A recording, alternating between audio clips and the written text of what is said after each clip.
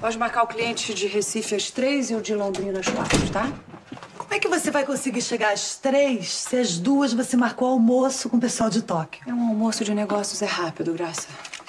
E avisa ao Francis que a partir de hoje eu quero participar de todas as seleções de casting. Por quê? Tá afim de ter um infarte? Não, porque eu preciso trabalhar. Quando você quiser, Luísa, me avisa que eu agendo o seu check-up. Me explicar por que diabos a gente mantém a Graça aqui até hoje? Olha, Luísa, porque ela é competente. E quando ela fala que você tá se matando, ela tem razão. Eu tô aqui, Luísa.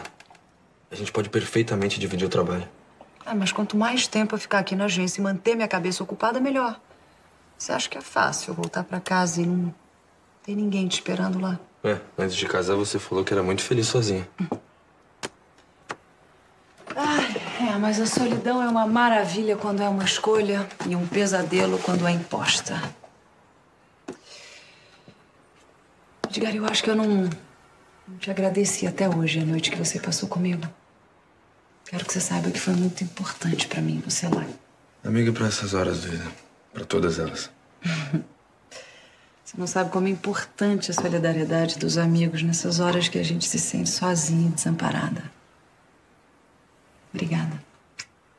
Foi muito importante pra mim a sua companhia.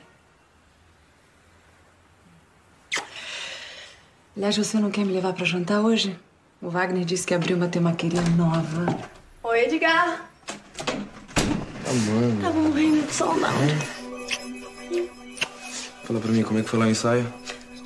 Acho que foi o melhor trabalho que eu já fiz. É? Tinha certeza que você ia arrebentar. Hum, o nosso jantarzinho no spot. Fechado? Fechado, fechado. A gente pega às oito. É, eu só tenho umas coisas pra resolver com o Wagner e eu te pego aqui.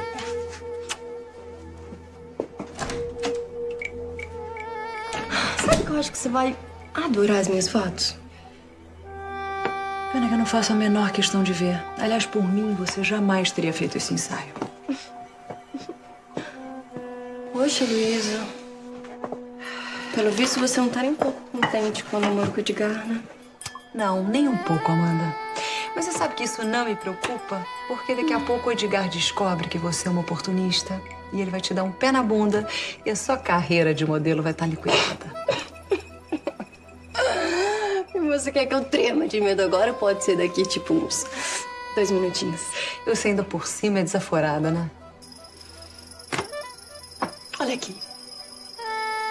Eu sei muito bem qual é a tua. Só que eu não sou a Marcela e muito menos a songamonga da Camila. A mim, você não vai fazer de tonta. Eu acho bom você ficar longe do meu namorado. Porque senão pega essa sua carinha bonitinha e esfrego numa privada suja. Você é muito vulgar e baixa. Não, Luísa. Baixa é você. Eu sou mesmo barraqueira. E quando se trata de defender o que é meu, eu não tenho o menor compromisso com as boas maneiras. Então fique esperta, tá? Porque se você se meter no meu namoro, quem acaba com a tua raça sou eu. Ah! Adorei a sua roupa. Que garota petulante. Você não perde por esperar.